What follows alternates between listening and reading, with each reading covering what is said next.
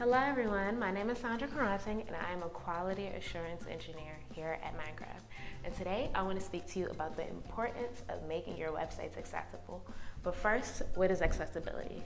Accessibility is ensuring that a user with a disability or impairment can access commodities the same way that someone without a disability or impairment can. What's a disability? A disability can be considered an impairment that affects how the person interacts with the world around them. This could be a motor impairment, a cognitive impairment, like the way they think, a visual impairment, or, or a hearing impairment. To ensure that people with disabilities can access commodities in the same way, the Americans with Disability Act of 1990 was created. And this simply prohibits discrimination against a person with a disability or disabilities. Within that is Section 508. And that ensures that government agencies make their electronic information accessible to a person with a disability. To achieve compliance, we use Web Content Accessibility Guidelines, commonly referred to as WCAG current version is 2.1. And there are three levels of compliance. A being the lowest level of compliance, and AAA being the highest level of compliance.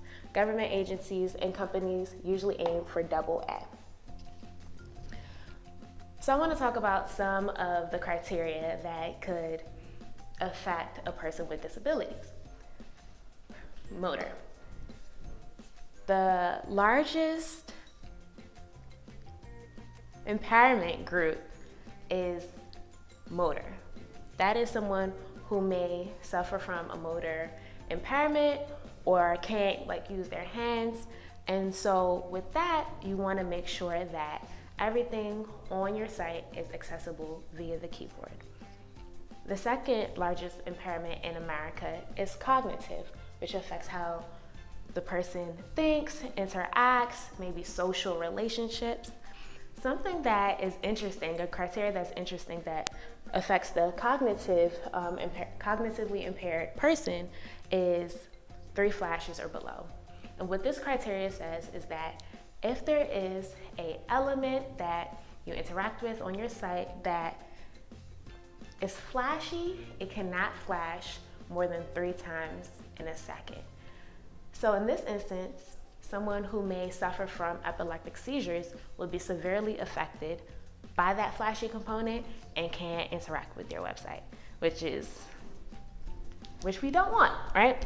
And another criteria that affects the cognitively impaired is sensory characteristics. If there's an element on the page or a symbol, such as the down arrow you want to make sure that you have a label or a tooltip providing what that symbol means. But you do want to make it accessible because you may find that there is a person with a disability that actually has more than one disability. They may suffer from motor and cognitive impairments. And so they would need to be able to access that element with the keyboard.